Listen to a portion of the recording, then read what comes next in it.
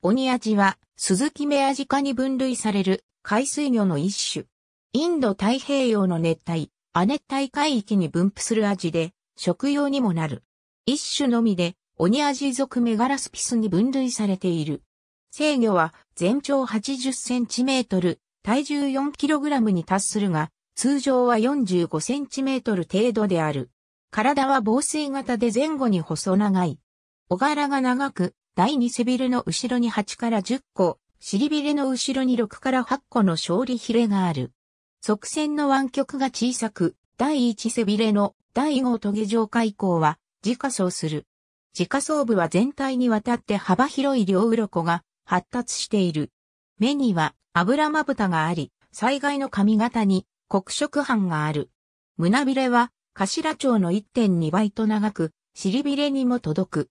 マアジ、ムロアジ、メアジ等に似るが、大型になること、小柄が長く多数の勝利ヒレが並ぶこと、側線の自家装部が長く両鱗が幅広いことで区別できる。なお、英名のトープドスキャドは、魚雷のムロアジという意味である。アフリカ東岸、南日本、オーストラリアまでのインド太平洋熱帯海域に分布する。日本近海では黒潮の影響が強い本州南部まで分布するが、南西諸島以北では稀である。沿岸表層性で群れを作って遊泳する。食性は肉食で、主に小魚を捕食する。低地網、巻き網、刺し網等で漁獲され、食用になる。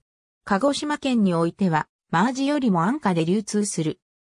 ABC、メガラスピスコードイラフロス、R&D、ポーリ、エディターズ、2009、フィッシュブイス、ワールドワイドウェブエレクトロニックパブリケーション、バージョンハット AB 岡村治、天岡国を監修。産経カラーメーカー日本の海水魚1997年、ISBN 46億3509万 272ABC 再開育水産研究所、東シナ海、航海の魚鬼味2000年 AB 元村、ひろゆき監修用、ワールド、鹿児島水族館、鹿児島の定置網の魚たち2008年。